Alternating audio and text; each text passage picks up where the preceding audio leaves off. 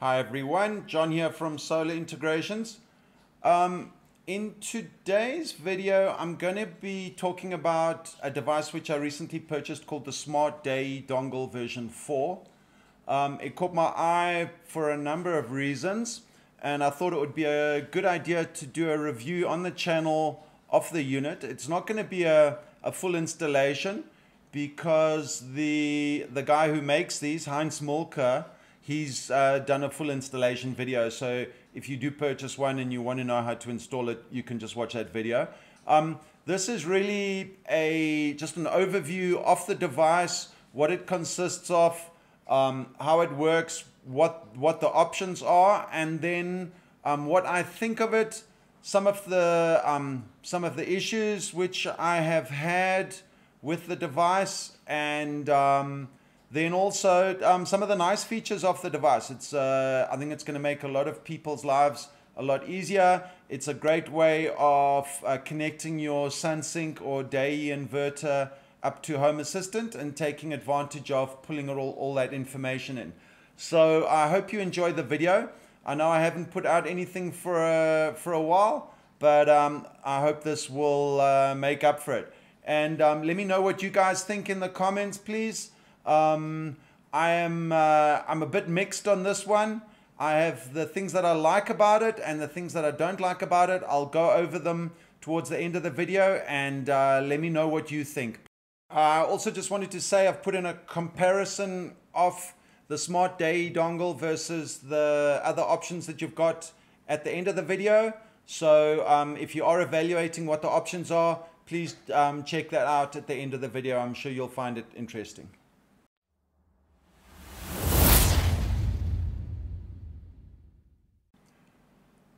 So I've spoken a, a fair bit to Heinz, uh, to Heinz Mulker, the, the gent who makes these.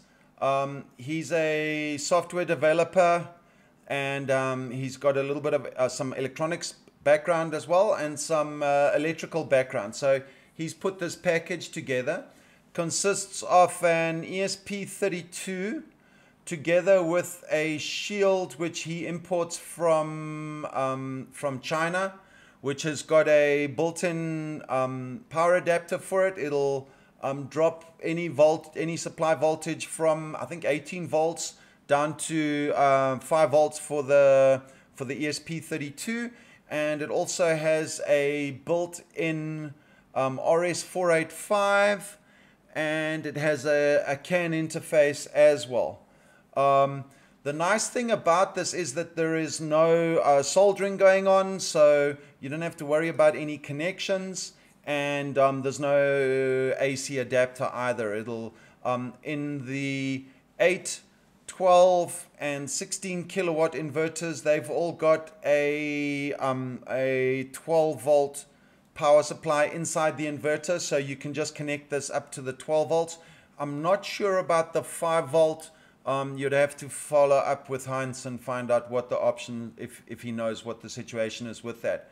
Um, it's a very neat and tidy solution um, using the ESP32 and um, it gives uh, gives a I think 146 uh, um, sensors so it's got a, a more than um, we have on the on our ES, standard ESP home um, solution. He's done a, a, some extra work there to find out um, some extra some extra values.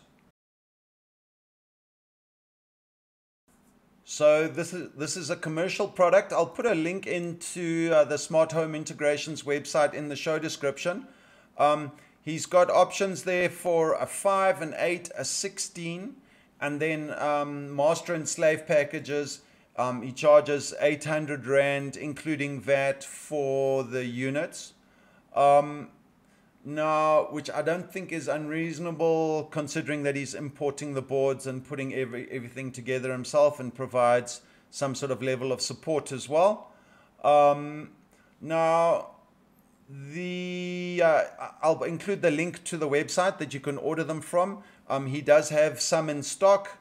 Um, and um, it looks like a very nice little solution. Okay, so the first thing I need to do is set up my ESP32 for my own Wi-Fi network.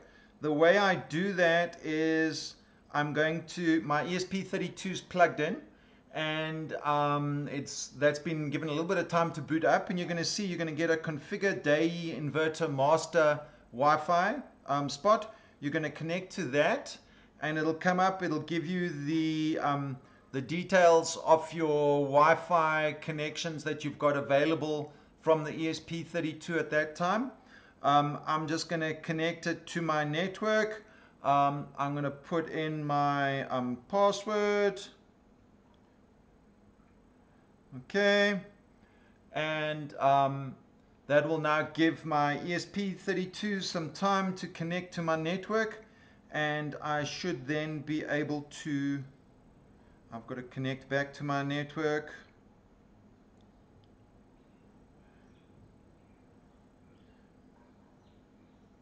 Okay, and I should now see my ESP32 connected on my network.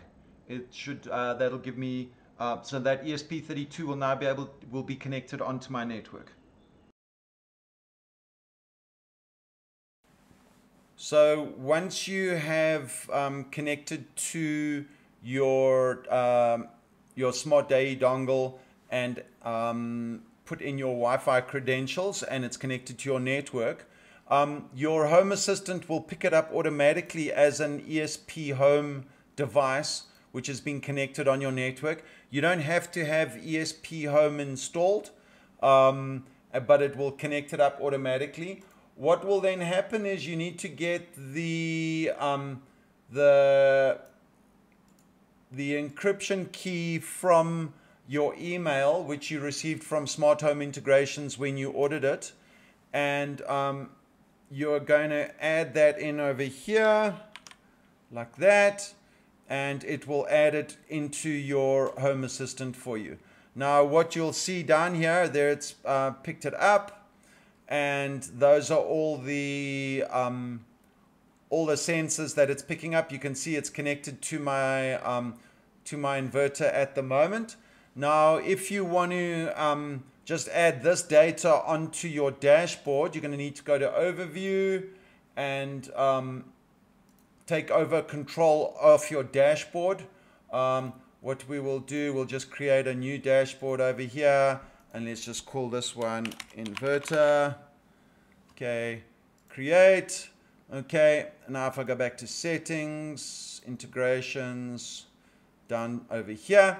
Now what I can do is just add these into my onto my inverter onto my inverter dashboard.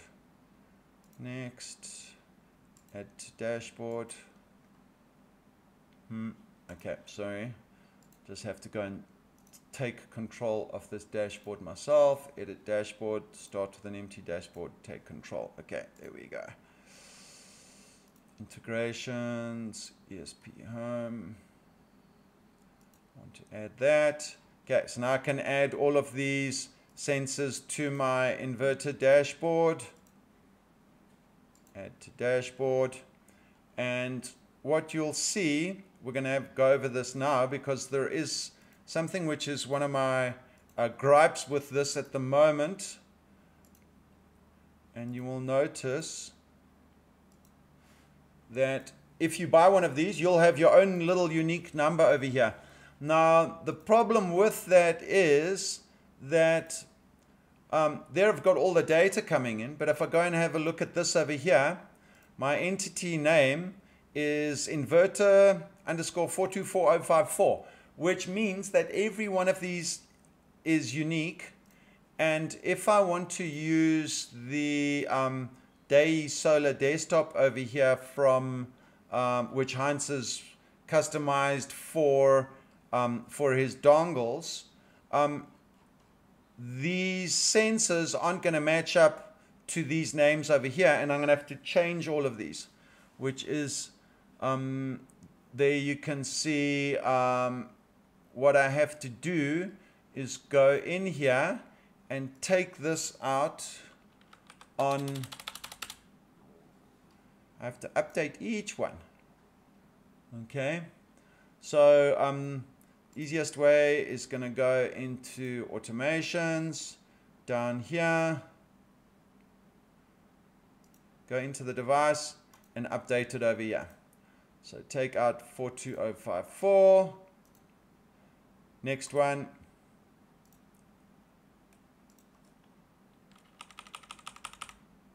And I'm going to have to update every one of these manually.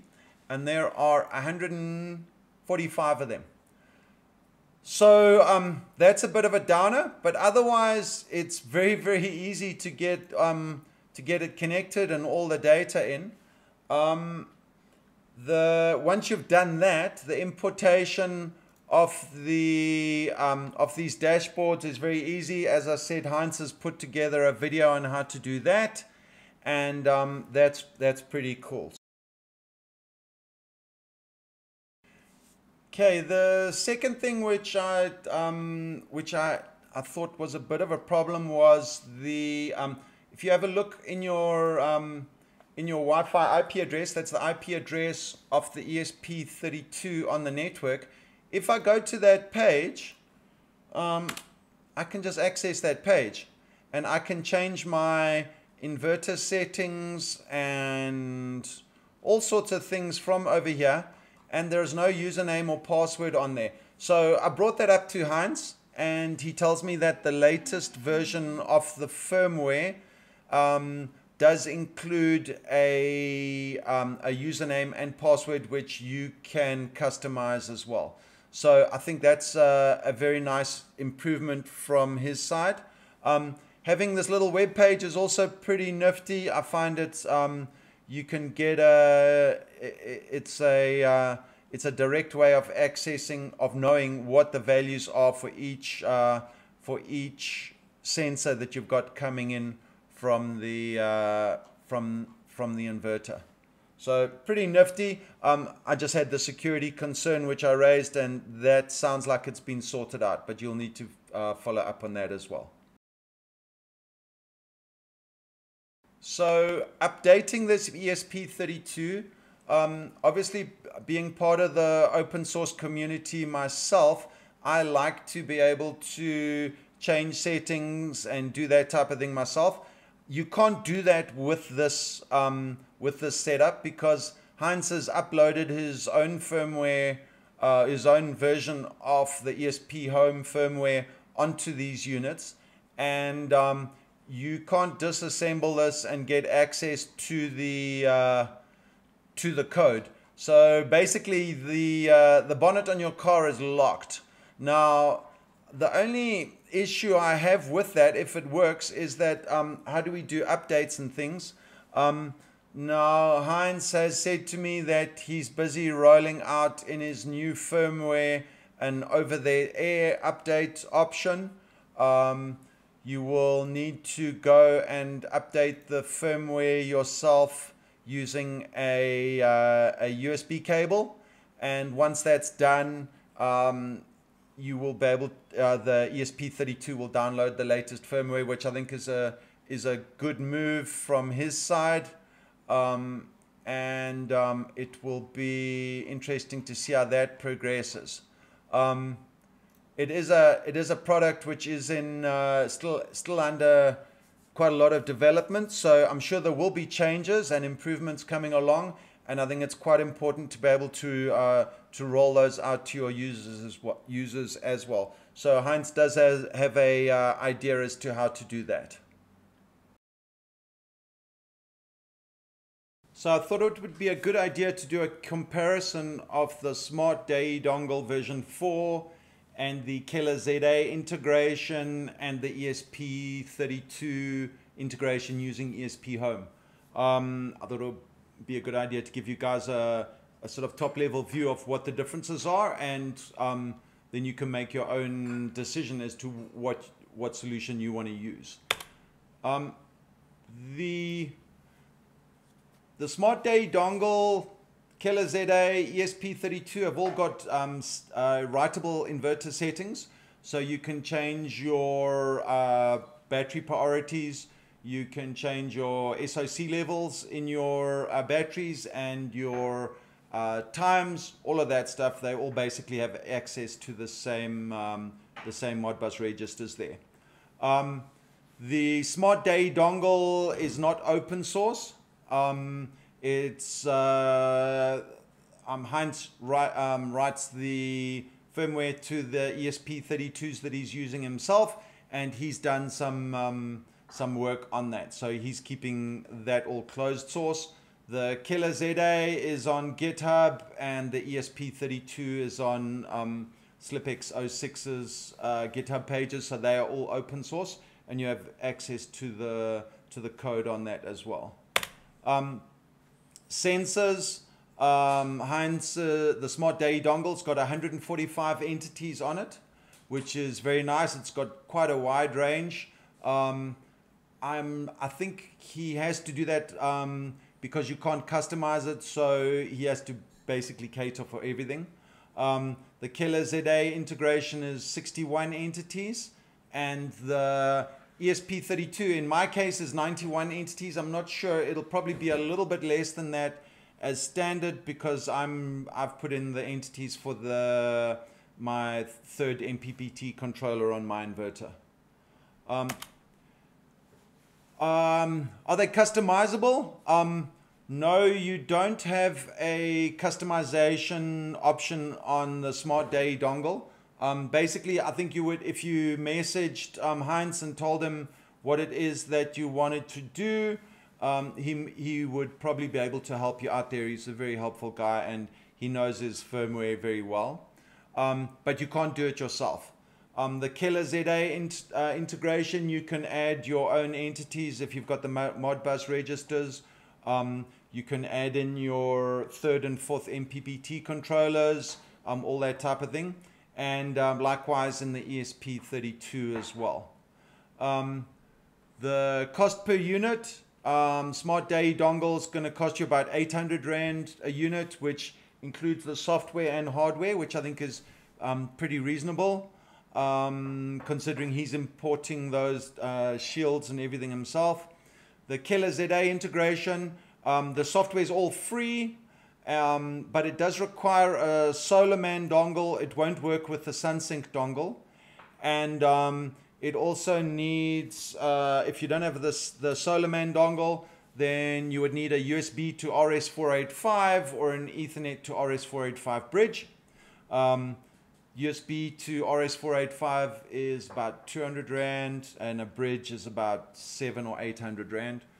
Um, and then if you go with the ESP32 and the RS485, um, depending on which RS485 board you use, um, you could use the uh, one which we've been using up to now, which is will cost you about 200 Rand. Um, if you import uh, one of the um, one of the ones with the built-in power supply and RS485 from Electrodragon, it'll probably cost you a bit more maybe about 300 bucks. Um, and then ease of use. Um, the Smart Deye dongle is super easy to install and set up. Um, has its uh, it's very very easy. Only the only downside I can see on it is the um, is the setting up of the entity names. Um, you have to go through and edit all the entity names to get them to be compatible with the dashboards from SlipX 06 and um, the updating of them, I'm pretty sure that um, uh, Heinz has updated that so that there's a username and password on the web interface. Um, Keller ZA, all the updates, hand, uh, ease of use, very easy to install and set up. Um, I did a video on that a while ago. I'll put a link through to it if you guys are interested. ESP32 can be tricky um, especially if you're doing the soldering with the um, with the 5 volt RS485 board. Um, I think it's probably better to use the board from Electrodragon that Heinz is using in his ones, but um, there are no local suppliers that I know of.